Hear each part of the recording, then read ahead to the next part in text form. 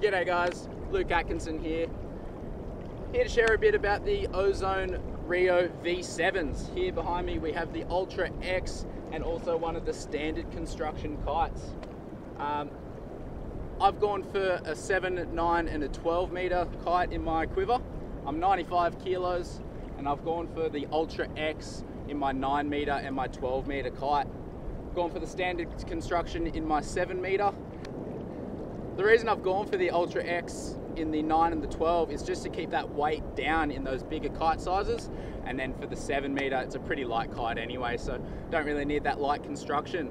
How Ozone have kept the weight of the Ultra X down is with a 20% lighter Dacron construction that's actually stiffer than the original. And we've got 17% lighter canopy construction as well. So the other cool thing about these Reo Ultra X's is the bridle construction. It's a lighter, thinner bridle, which reduces the weight and also adds to the speed through the air as well. With the standard construction Reo, you've got the same trusty build that Ozone's always had. So two of my favorite things about these new V7 Reos is the wind range and the drift.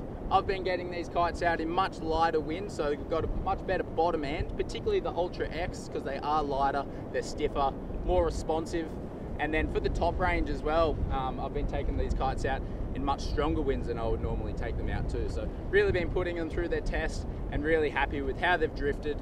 It's perfect in the waves, lighter winds, and it also goes really well as a foil free ride kite. And they also jump really well. I've noticed they've got a bit more hang time, which makes it pretty fun for some strapless freestyle also.